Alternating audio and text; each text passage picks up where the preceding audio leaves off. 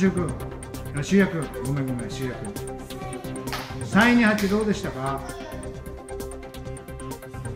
嬉しかっ嬉しかった。はい。大成君どうでしたか？嬉しかった。嬉しかった。カシュウ君は？最後にはい。陽太君初めて試合出てどうでしたか？うん。負けちゃったけど精一杯頑張った。はい。じゃあみんな拍手お願いします。はい。正面にで